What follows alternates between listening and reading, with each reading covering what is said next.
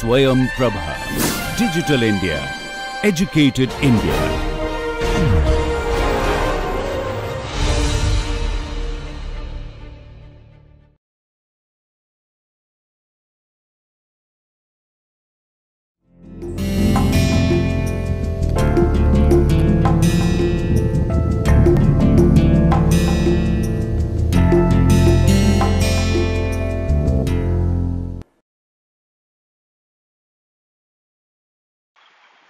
Namaste. We carry forward our discussion on markets, welfare, and conservation. And in this lecture, we'll have a look at market efficiency and the cost of taxation. So let us begin by summarizing what we had seen in the previous lecture. We had observed that total consumer surplus is the area between the demand curve and the price. That is, the consumer surplus is the area between the demand curve and the price. So this yellow colored area is the consumer surplus. Lower prices raise the consumer surplus because when the prices become less, so when you draw a line, say here,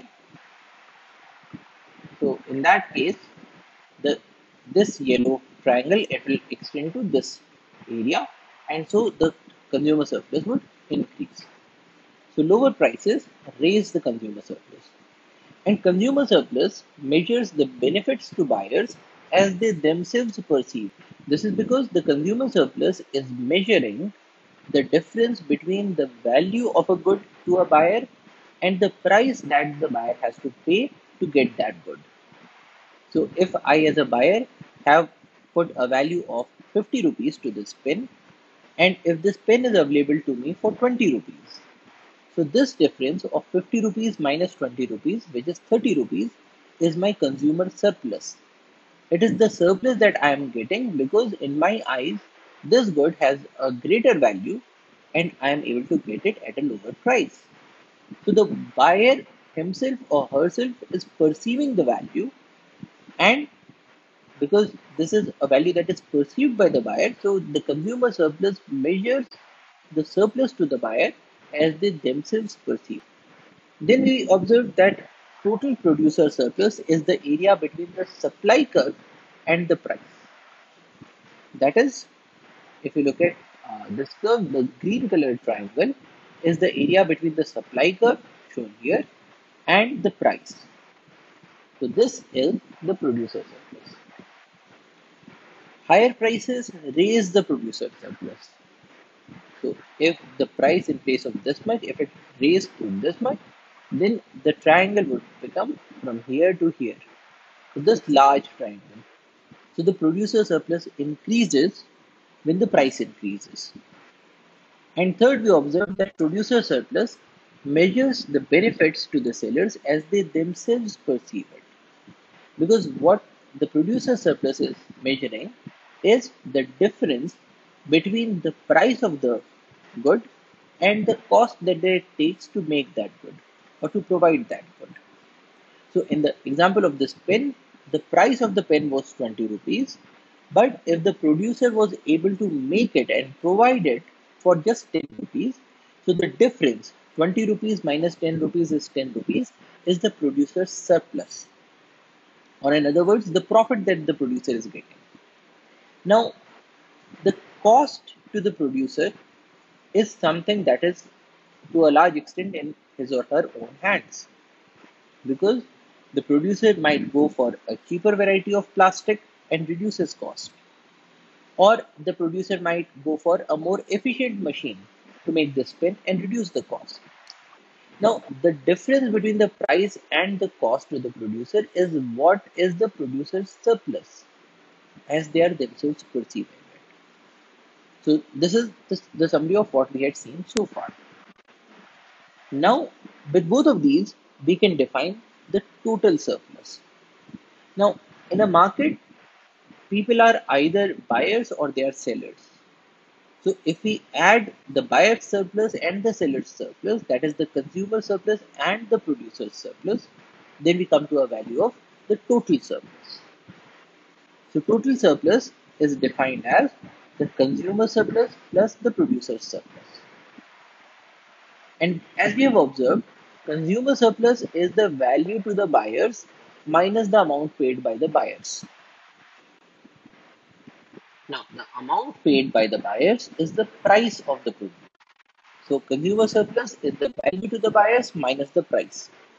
The producer surplus is the amount received by the sellers, which is again the price minus the cost to the sellers. So, if you look at this graph, then we have the consumer surplus in yellow, the producer surplus in green. If we add both of these together, we will get the total surplus. Now, the total surplus we can write as consumer surplus plus producer surplus. Consumer surplus is value to buyers minus amount paid by the buyers and the producer surplus is amount received by the sellers minus cost to the sellers. Now in this case, we can rearrange the terms on the right hand side to say that to the buyers minus cost to the sellers plus amount received by the sellers minus amount paid by the buyers. Now, as we have seen before, the amount received by the sellers is the price. The amount paid by the buyers is also the price. So we are subtracting price from price. So the amount received by the sellers is the same as the amount paid by the buyers. So we can cancel out both of these. We can cancel this and we can cancel this. And so in that case, the total surplus becomes the value to the buyers minus the cost to the sellers. This is the total surplus, value to the buyers minus cost to the sellers. And an objective of planning is to maximize this total surplus. Why? Because everybody in the market is either a buyer or a seller.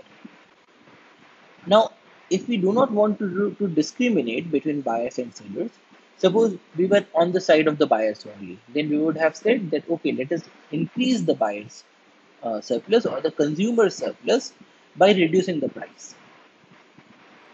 But when we reduce the price, then it would affect the producer surplus. Because when the price reduces, the producer surplus reduces. So if we act only on the side of the buyers, then it will hurt the producers. On the other hand, if we act only on the side of the producers, then we would say that let us increase the price so that the producer surplus increases. But when the price increases, the consumer surplus would decrease because the buyers will have to pay a higher price. So an increase in the producer surplus would lead to a decrease in the consumer surplus. But if we do not take anybody's side. We are not on the side of the buyers, we are not on the side of the producers, but we are on both of their sides. Then what we'll say is, okay, let us see if we can increase the the buyers and the producers surplus. What is the maximum that we can get? So that is a maximization of the total surplus.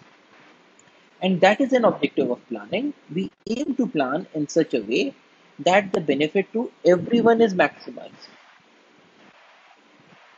We are trying to maximize everyone's benefit, whether he or she is a buyer or a seller.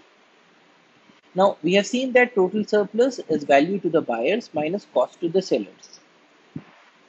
And since surplus is the benefit to the buyers and uh, sellers as they themselves perceive it, the aim should be to maximize the total surplus, which means that we should maximize the value to the buyers and we should minimize the cost to the sellers. In that case, the total surplus will be maximized. Now we can do that by ensuring that goods should reach those buyers who value it the most and come from those sellers who take the minimum cost to produce them. Which means that if there are two buyers and one is putting a cost uh, a value of this pen to be say 50 rupees and the other one is putting the value to be say 100 rupees what we are saying here is that the value to buyer 1 is 100 rupees and the value to buyer 2 is 50 rupees. Now, if this pen is available for a price of 20 rupees, then in that case, the surplus for buyer 1 is 100 minus 20 is 80 rupees and the surplus for buyer 2 is 50 minus 20 is 30 rupees.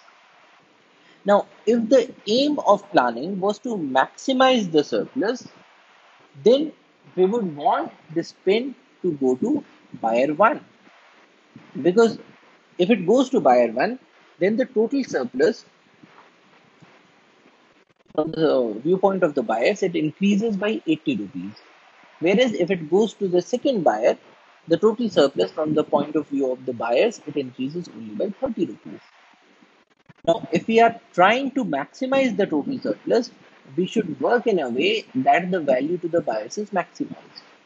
That is, the goods should reach those buyers who value it the most.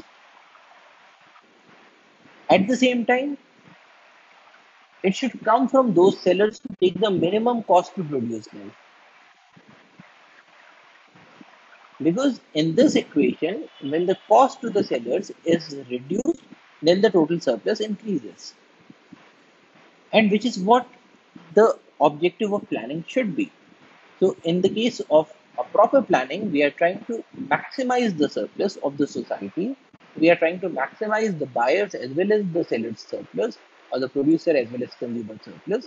And in that case, what we are saying is that we should produce more and more of those goods that have a higher value, and these goods should go to those people who value them the most because in that case the buyer surplus would be or the, or the consumer surplus will be maximized. At the same time, we should try to produce goods in a way that it is less costly to produce. So the cost to sellers should be minimized as far as possible. Because when that is done, then the producer surplus increases. And in the market, the goods should come from those sellers that are able to produce the good at the minimum cost. So when a good is manufactured at the minimum cost and is going to a buyer who values it the most, in that case, the total surplus is maximized. Or in other words, what we are saying is that say the value to buyer 1 is rupees 100 the value to by 2 is rupees 30 the uh, the cost to make the cost for seller 1 is say rupees 10 and the cost to seller 2 is rupees 15 now in this case if the good goes to buyer 1 and comes from seller 1. What we are saying is the good is going from seller 1 to buyer 1. So in that case, because the seller 1 has the minimum cost and the buyer 1 has the maximum value, then the total surplus is 100 minus 10 is 90 rupees. But in other cases, if it goes from seller 1 to buyer 2, so in that case, the surplus becomes 30 minus 10 is 20 rupees. If it if the good goes from seller 2 to buyer 1, so seller 2 is costing uh, it costs 15 rupees to produce. So the total surplus is 100 minus 15 is 85. And when it goes to from seller 2 to buyer 2, then the total surplus is 30 minus 15 is 15 rupees. Now what we are observing here is that the total surplus is maximum of 90 rupees when it goes from seller 1 to buyer 1. Now in this case, seller 1 is the one with the minimum cost of production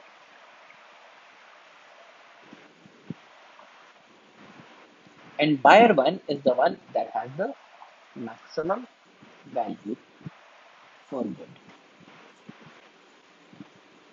So in this situation, the total surplus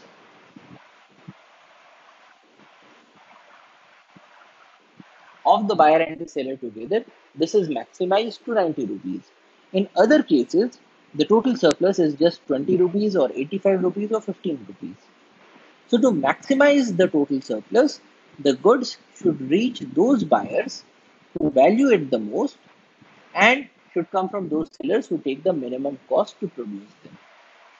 In that case, the total surplus is maximized and that is one aim of planning to maximize the, the total surplus or the welfare of the society. And this brings us to the point of efficiency. Efficiency is the property of a resource allocation of maximizing the total surplus that is received by all members of the society. So we will say that the market is working efficiently when it is allocating resources in such a manner that the, the total surplus is maximum. And we have seen that the total surplus is maximum when goods go from the sellers that take the minimum cost to produce them to the buyers who value them the most. So in that case, the total surplus is maximized and then we say that the market is working on an efficient manner. Now, in the case of a normal market equilibrium, the total surplus is maximized at the equilibrium. Now, why is that so? So, here we have the demand curve and the supply curve and this is the equilibrium point. So at equilibrium point, this is the price that the uh, market will charge for this good. And this is the equilibrium quantity that is demanded or supplied. Now, the question is, is this the maximum uh, where the, uh, or is this the point where the total surplus is maximized or not? So to prove that, let us look at points to the right and to the left of the uh, equilibrium. Now, if we consider, say, a point here. Now, at this point, so this is our equilibrium quantity.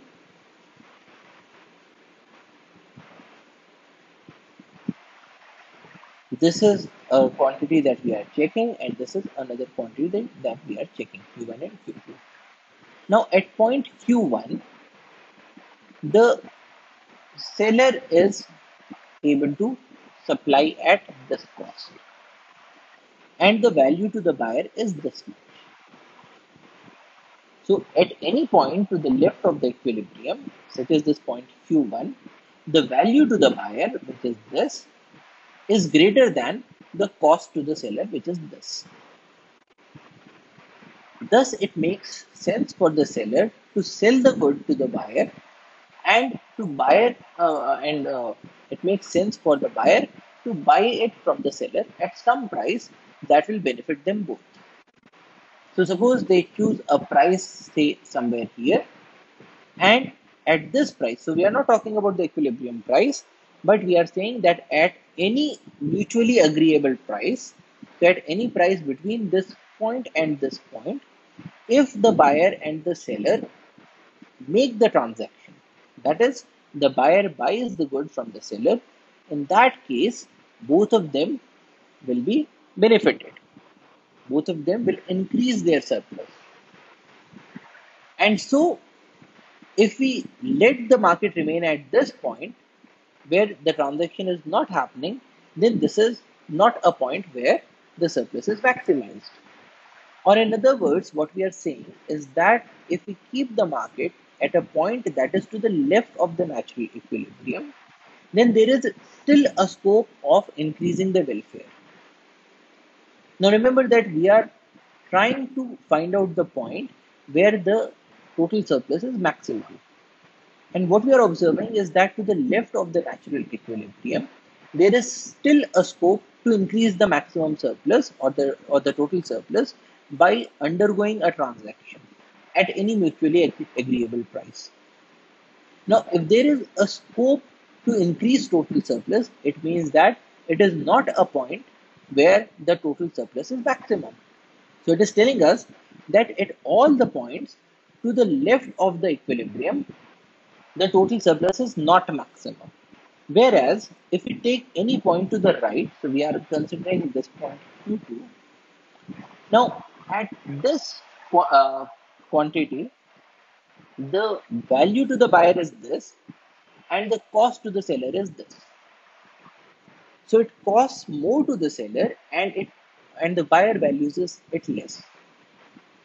Now at any such point to the right of the equilibrium, the value to the buyer is less than the cost to the seller.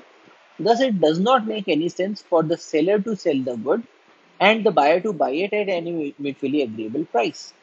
So what we are saying is that any point to the left of the equilibrium is not optimum and any point to the right of the equilibrium is also not optimum.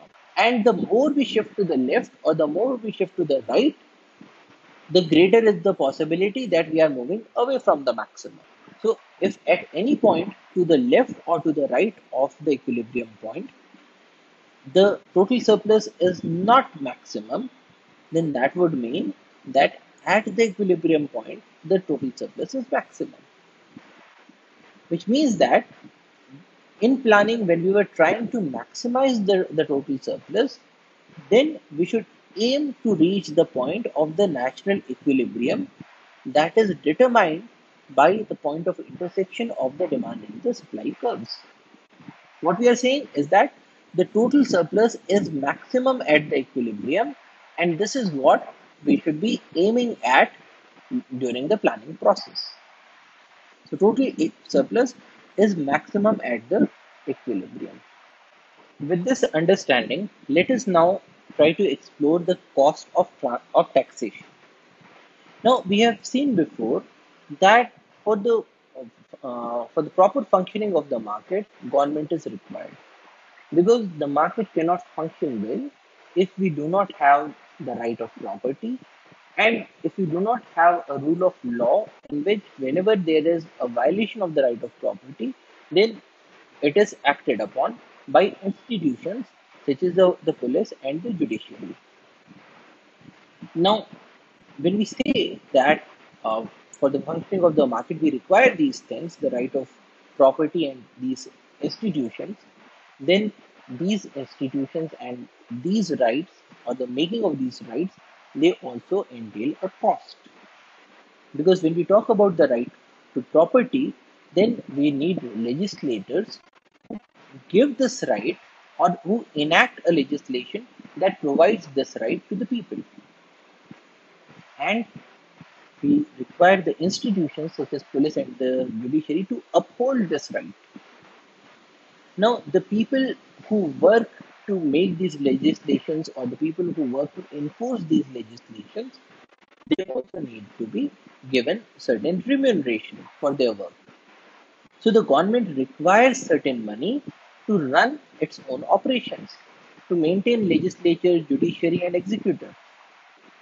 Now where will the government will get money for these operations? One way out is through taxation. So the government imposes a taxation on people or on certain transactions to raise money for its own operations and those operations are crucial for the working of the market. Another thing that we will look throughout this course is that in certain cases the government is also required to improve upon the market outcomes. Now those might entail a further cost. So for instance, if uh, as we have observed in the case of externalities, if uh, smoking imposes an externality on the society, then it has to be reduced. Now, to reduce smoking, the government may act to internalize the externality by, say, taxing the cigarettes. Now, this sort of a thought process, planning, and execution, they will also entail certain costs.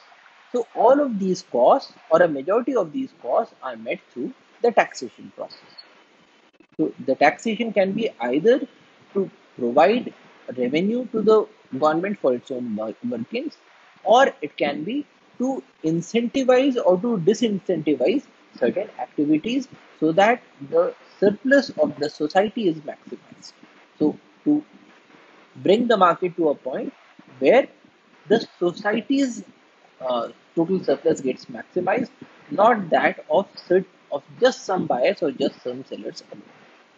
So, which is why taxation is needed. But then taxation also imposes certain costs.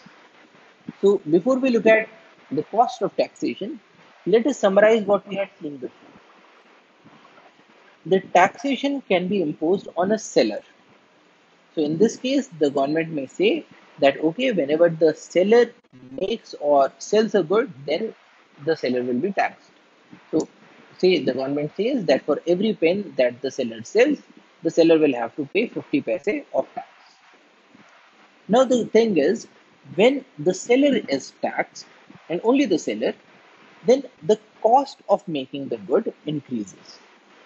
Because you have to pay a certain share of the tax also, which will be included into the cost of the good. And if the cost of a good increases, then the supply curve shifts to the left. So this is the original supply curve and this is the supply curve with the taxation. So it shifts to the left. Now, earlier mm-hmm. the equilibrium was at this point and now the equilibrium has shifted to this point where the red curve, the, the new supply curve and the demand curve intersect. So this is the equilibrium without the tax and this is the equilibrium with the tax. Now, earlier this was the price without the tax the price that the buyers were paying and the price that the sellers were getting. But now, when we have shifted it to the left, then the buyers are paying this price and the sellers are getting the price that is given by this vertical line intersecting with the supply curve.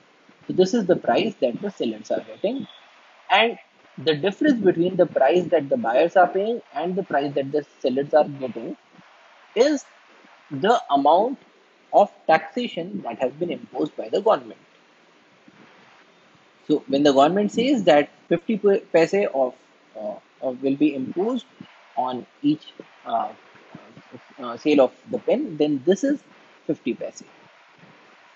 Now out of these 50 paise, the sellers are paying a share that is given by the difference between the original price that they were getting and the new price that they are getting. And the buyer's share is given by the new price that the buyers are paying minus the old price that they were paying. Which means that even if we have imposed a tax only on the sellers, even then the tax gets distributed between the buyer and the seller that is a key point to remember. And the buyer's share is given by this amount and the seller's share is given by this amount. On the other hand, when a tax is imposed only on the buyer, so what the government is saying now is that we are not going to tax the sellers, but whenever the buyer buys this pen, he will have to pay 50 paise. Now what happens? When the cost of uh, the product increases, that will lead to a shift in the demand curve to the left. So this is the original demand curve, this is the, the new demand curve. Now, because the tax is being imposed only on the buyers, so we are seeing a shift only in the demand curve and there is no shift in the supply curve. Now, in this case, when it shifts, this was the earlier equilibrium without the tax. This is the new equilibrium with the tax. Now, in this case, what we are observing is that the price that the sellers get is this much only, where the demand and the supply curves are meeting. But the price that the buyers have to pay is this much because they are not only paying the amount to the sellers, which is this one, but they are also paying the tax, which is this much. So they are paying not just the seller, but they are also paying the government with the tax. So this is the price that the buyers pay. Now earlier the buyers were paying only this much, the amount that is given by the normal equilibrium without the tax. So in this case, the increase of payment for the buyers is this much, the amount that they are paying now and the amount that they were paying without the tax. So this is the buyer's share. On the other hand, earlier for this much amount, the sellers were getting this price. But now they are getting this price. So the seller's share is this much, the amount that they were getting before minus the amount that they are getting now. So with both, both of these, we can understand that whether a tax is imposed on the seller only or on the buyer the impacts are the same. The tax gets distributed between the buyer and the seller. So no matter whether the government taxes the buyer or whether it taxes the seller, the net result will be the same. Both will have to pay a particular share. So whatever be the case, this is the net result of the tax. So this is the normal equilibrium. And with the tax, if this much is the amount of the tax, we can draw a line of the amount. We can shift it to the right, uh, to the left of the equilibrium till we reach a point where it touches both the demand curve and the supply curve. And that would give us the, the new location of the equilibrium line and there will be a buyer's share given by this much and there will be a seller's share which is given by this much.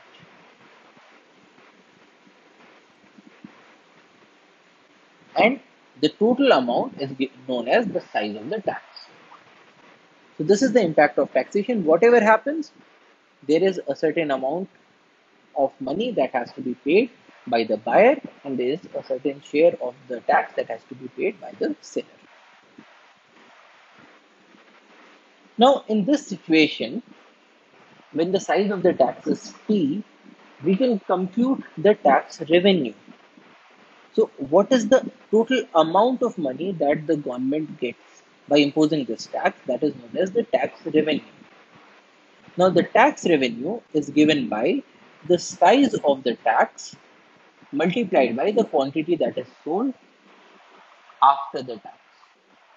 So what we were seeing is that earlier the equilibrium quantity was this, but with the tax, the new equilibrium quantity is this, so this equilibrium quantity or the number of units of pen that was that are getting sold after the tax multiplied by the size of the tax. So if one pen is sold and the size of the tax is 50 paise per pen, then the government gets the tax revenue of 50 paise. If two pen are sold, then the government gets 50 paise into 2 is 100 paise or 1 rupee and so on. So the uh, the quantum of the tax revenue that is collected is given by the quantity sold multiplied by the size of the tax. Now the quantity sold is this much amount. So we can observe that if we look at the area of this rectangle, then it has a width of the quantity sold and it has a height of the size of the tax. And in that case, the area of this rectangle, the pink colored rectangle, will give us the tax revenue to the government or the tax collected by the government, which is given by Q into T. So this is the quantum of the tax revenue that gets collected. But this also puts in a new thing. It brings up a new concept of deadweight losses. So earlier what we were observing is that in the case of a free market without a tax, we were having a consumer surplus, we were having a producer surplus, but now we have this new situation. Now the consumer surplus will now reduce because the consumer surplus is the value that the consumer was putting on a thing minus the price of the thing. So this much is the consumer surplus of one particular consumer. And the total consumer surplus is given by this triangle. Now, because the consumer is now paying a higher price, earlier the consumer was paying a lower price that was given by this amount. This is the price without the tax. But now the buyer has to pay a higher price. And we have observed that in the case of a consumer surplus, it is the difference between the value of a good and the price that the buyer has to pay. So if the buyer has to pay a higher price, in that case, the consumer surplus will reduce, which is what we are observing in this case. So the consumer surplus is now only this much portion. It is not this triangle that we were having before. So earlier we were having this big triangle But now we are having only this small triangle. So the consumer surplus reduces. What about the producer surplus? Now the producer surplus also reduces because the producer surplus is the difference between the price that the producers are getting and the cost of making the good. Now the cost of making the good remains the same, but now they are getting a lower price because earlier they were getting this price without the tax, but now they are getting this price. And because the producer surplus is the price minus the cost of production, so now the line shifts to here. Earlier we were having this whole area that was the producer surplus. But now we are having only this small triangle that is the producer surplus. So with the tax, we have a reduction in the consumer surplus and we have a reduction in the producer surplus. But a part of the earlier surplus is going to the government in the form of the tax revenue. So there is a surplus for the government. So what is happening now is that earlier the surplus was this whole big triangle, which is, you can see it is yellow plus pink plus green plus gray area. Yellow, pink, green and the gray area. So that, that was the earlier total surplus. Now what is happening is that we have a consumer surplus which is yellow, the government surplus or the tax revenue which is pink and the, uh, the producer surplus, which is green. So now the surplus is equal to yellow plus pink plus green, which means that this gray portion that was earlier a part of the surplus is now no longer a part of the total surplus because this gray portion it is neither a part of the consumer surplus nor a part of the producer surplus, nor a part of the tax revenue. So which means that there is a reduction in the total revenue uh, in the total surplus. There is a fall in the total surplus that is resulting from a market distortion such as taxation. Now, taxation is a form of market distortion because we are changing or the government is changing the natural outcome or the natural equilibrium of the market. So earlier the price that the buyers were paying was the price that the uh, that the sellers were getting but now there is something in between that is not a part of the natural market equilibrium. It is something that has been imposed by the government. So it is a market distortion. And a deadweight loss is the fall in the total surplus which is what we have seen in the form of this gray area. It is a fall in the total surplus that results from a market distortion such as taxation. Now, taxes called uh, cause deadweight losses because buyers and sellers are prevented from realizing all the gains from the trade. This loss of surplus doesn't even accrue to the government since trades that become uneconomical due to taxes don't occur at all. What we are saying here is that earlier, if we look at a, a point, say this one. So we are looking at this line. Now in this case, when where the line touches the supply curve, this was the cost to the seller to produce the good. And where this red line is touching the, the demand curve is this one. So this is the value that people were putting on this particular good.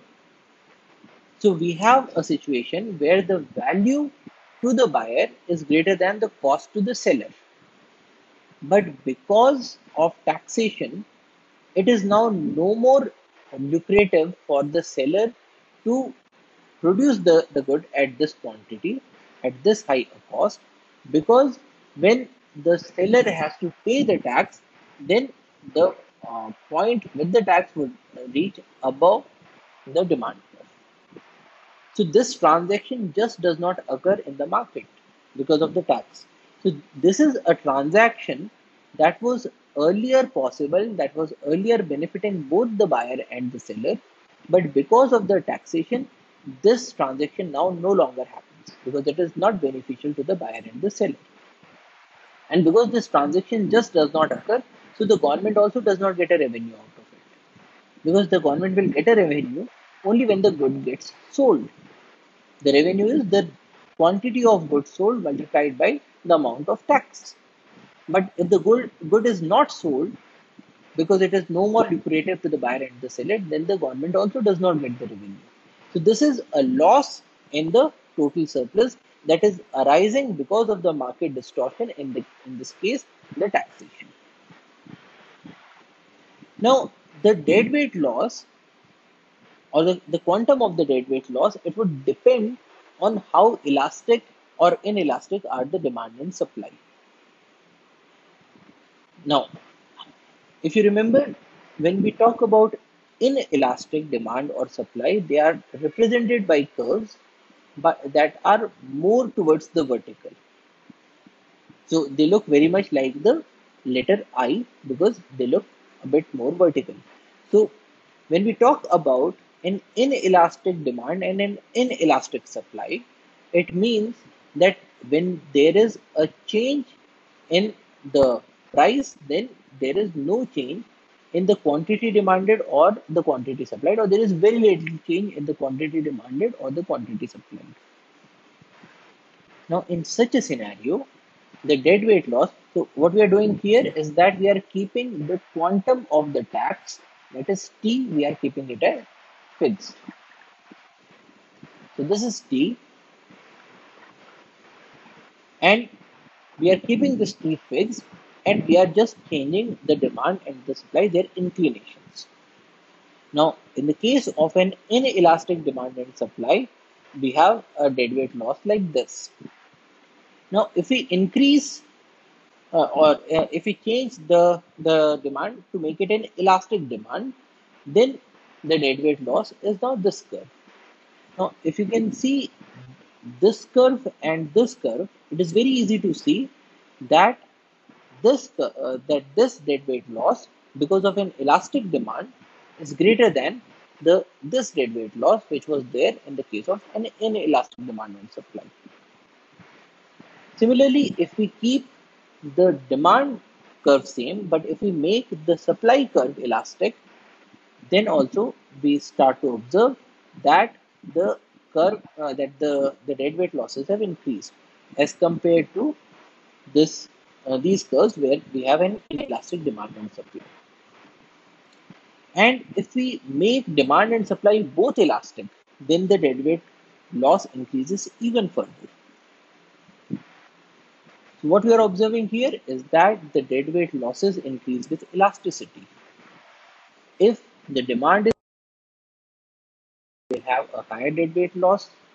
If the supply is elastic, we will have a higher deadweight loss if demand and supply are both elastic, then we will have a, much larger deadweight loss. So this is um, a result that we are observing that if the quantum of the taxation or the size of the tax is kept the same, but if the elasticity of the demand and supply curves, if they are changed, then we can observe that the deadweight losses will increase when demand and supply curves become more elastic. So this is the result that the deadweight losses increase with elasticity. Now, the next question is how much should be the quantum of the uh, tax size? Should the government have a small tax size or should it have a larger tax size? Which means that for the sale of every pen, should the government tax say 10 paise, 20 paise, 50 paise, 1 rupee?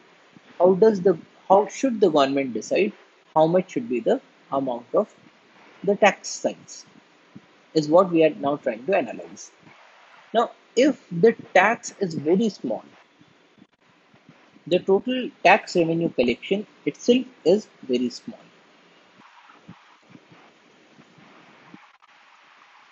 Collected by government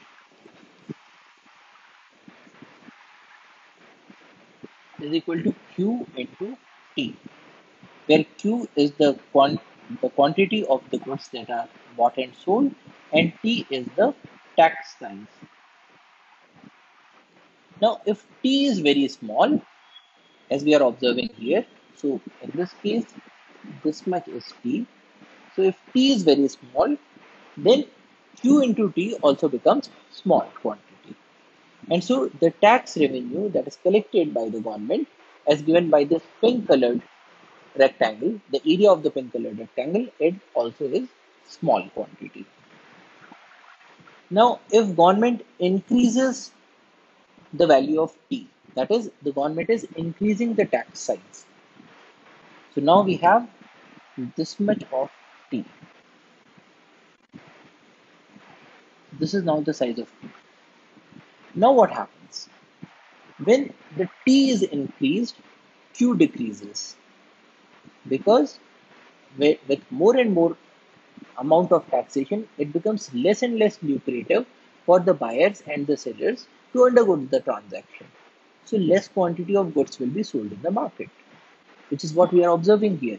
When T has increased, the Q, which is given by this much length, it decreases. So earlier we were having a larger Q, but now we have a much smaller Q. So Q reduces. But the total tax revenue, it has increased because this rectangle, the pink colored rectangle has a smaller area as compared to this rectangle. So when the T is increased, Q reduces, but Q into T still increases. Now, if the tax increases even further, then we'll have a situation like this. So now the T has increased even more, the Q has reduced even more. And the quantum of tax collected is now given by this pink, uh, the area of this pink colored rectangle. Now what will happen if the uh, T is increased even further?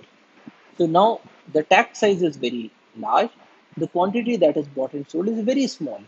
So now Q is only this much.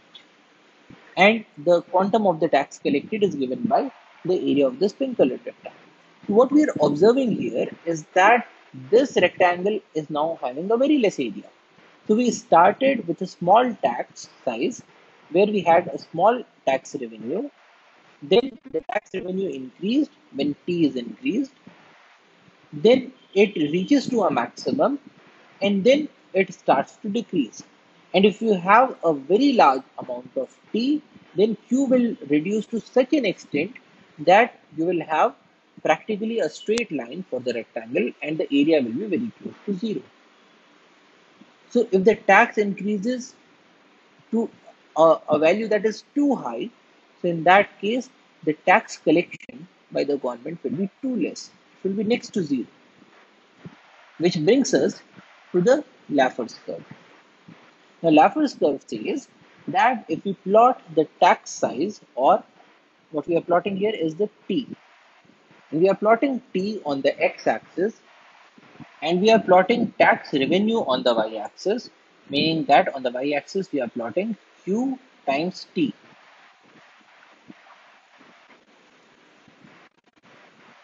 So in this case, as t increases, q into t, it increases. what we were observing here. That in the case of a very small t, we were having a smaller value of the tax revenue. When t increases, so at a smaller value of t, at say this value of t, the value of the tax revenue is this much. But when you increase the size of t, then the tax revenue is higher. So with increasing t, the q into t increases. Then it reaches a maximum. So we will have a maxima at this point. So at, at this point, we have this is the value of the t that the government should aim for to have the maximum revenue. But if the government increases the tax size even further, so if the government increases it from this to even larger amount, then the tax revenue that is collected, it would again decrease. So at say this point, we have the value of t as this and the value of the tax collected is now this. So this is the Laffer's curve. The Laffer's curve shows us that when the government increases the size of T, the revenue collection, it increases, then it reaches a peak and then it starts to decrease. Which means that if the government is putting up a tax to maximize its revenue, because the government needs revenue to meet its operational expenses, then the tax size should not cross this point. So it should not be anything less than this, it should not be more than this. So this is the most optimum tax size where the government will earn the maximum amount of revenue from taxation. So this is the benefit of the Laffer's curve. But another thing also happens at the same time. Now, if you concentrate on the deadweight losses, so when the t value is very small, then the deadweight loss is given by the area of this triangle in gray color. So for a very less amount of t, this area is small. When t increases, the area of the gray colored triangle increases. So the deadweight losses increase. When t increases even further, the deadweight losses increase even more. And for a very large amount of t, the deadweight loss is even further more. So what is happening is that when t increases, the deadweight losses go on increasing. So this is not the same as in the case of uh, the Laffer's curve. In the case of the Laffer's curve, when t was increasing, the revenue collected by the government increased, reached a maximum, and then decreased. But in the case of the deadweight losses, they go on increasing which tells us that if the government is aiming for a larger value of T, then probably the deadweight losses will be a bit too much. Now, deadweight loss is representing a loss from the total surplus. So earlier we were having a total surplus which is given by the sum of the producer surplus and the consumer surplus. Now with the taxation, this total surplus is now divided into four parts. We have the producer surplus, we have the consumer surplus, we have the tax revenue, and we have the deadweight losses. So deadweight loss is a loss from the total surplus that accrues neither to the producers nor to the consumers nor to the government. And so when we had seen earlier that when we are talking about planning, then we should plan in such a way that the total surplus is maximized. But what we are observing here is that with the taxation, the total surplus reduces and this loss or this reduction that accrues neither to the government nor to the producer or consumer is the deadweight loss. And in this curve, even though we were saying that this is the, the tax size that was the optimum for maximizing the revenue, what we observe here is that for this tax size, the deadweight losses are already too substantial. Which means that if the government has to do a planning And if the government is maximizing its tax revenue, then probably it is not a very efficient planning for the society because the deadweight losses are too high. So probably the government should aim for a tax size that is less than that so that the deadweight losses are a bit less. We will not be able to completely eliminate the deadweight losses, but the government should aim for a deadweight loss that is small enough that can be tolerated by the society. So the optimum is determined not just by the maxima in the Laffer's curve, but is also determined by the deadweight losses that will happen because of the taxation distortion that is happening in the market. So with this, we can now summarize the learnings of today's lecture. The first is that the tax reduces the total surplus by introducing deadweight losses.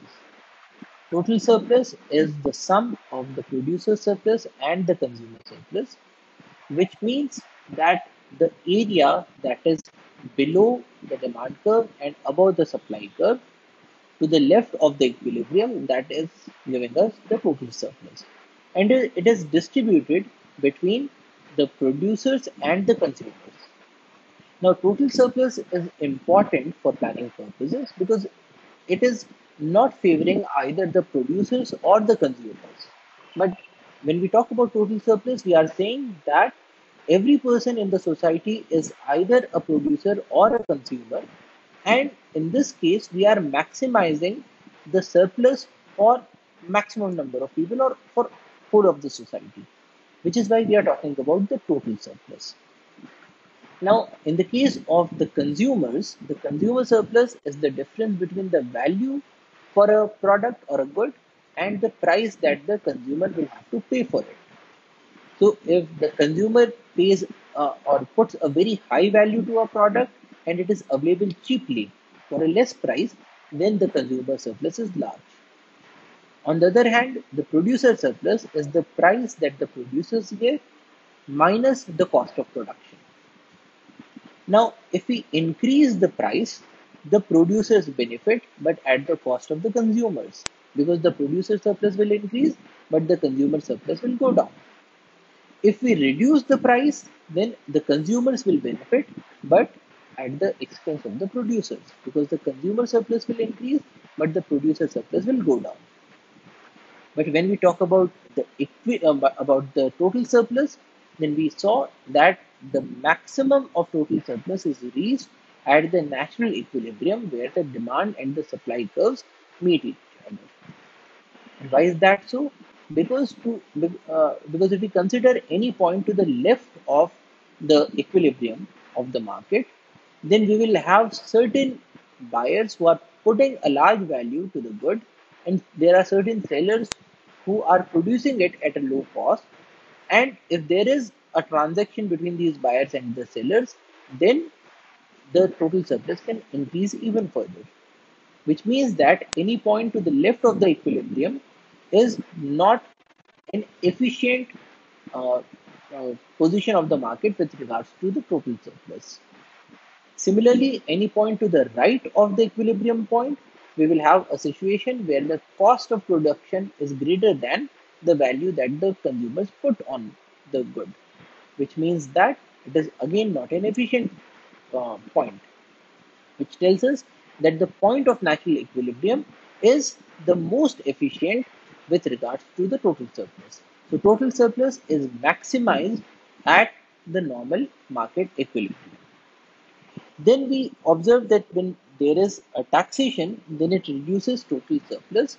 And the earlier total surplus is now distributed between the producers, the consumers, the government that gets the tax revenue, and the deadweight loss that accrues to neither the producer nor the consumer nor the government.